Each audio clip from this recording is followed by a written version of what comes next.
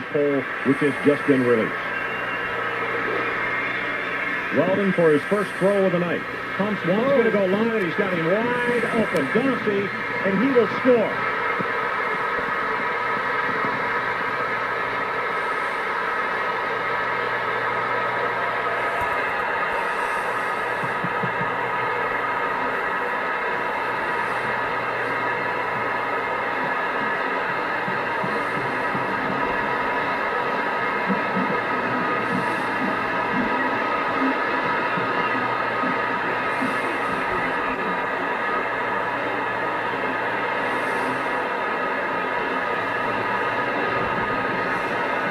Seventy-six yards. What a start, Gary.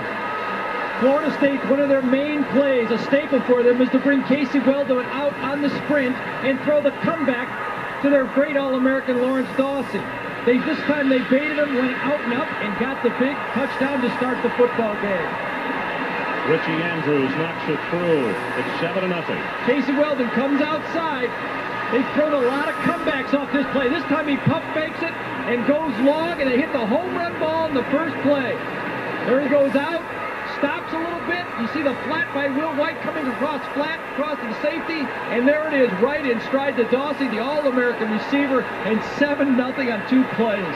What a way to start a game. You know, the way Fain turned around and looked at Will White, it was though he thought he had help on the play. Well, I don't know. They were in the zone, and, and Will White is the deep free safety. Remember, the key to this defense, we've saw them before, there's only three defensive backs on the field, so they have a lot of different zone concepts, reading the flow of the quarterback and, and double zone coverages that they have to take advantage of. But that time, Florida State had a play that they were sold on was going to work, and they got the big play to start the game.